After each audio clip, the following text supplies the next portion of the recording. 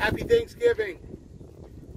Taking some time away from the turkey to come out, shoot a quick video for you guys of this Toyota Sienna minivan and go pick up a manual transmission Corolla. To be honest, I'm a little bit more excited about picking up the Corolla than the minivan.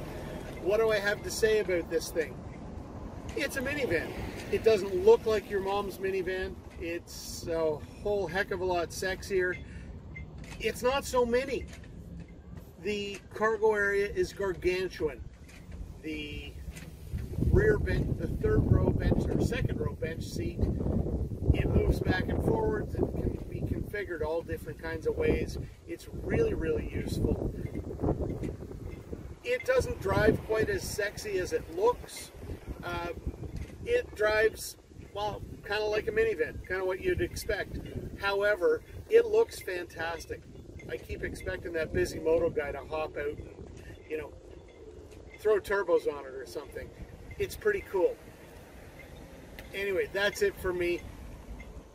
If you need some utility, have a look at the Sienna. There's others. Uh, there's a few others. There's not as many minivans as there used to be.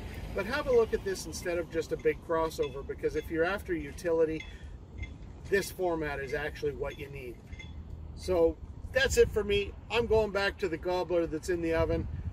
Have a great Thanksgiving.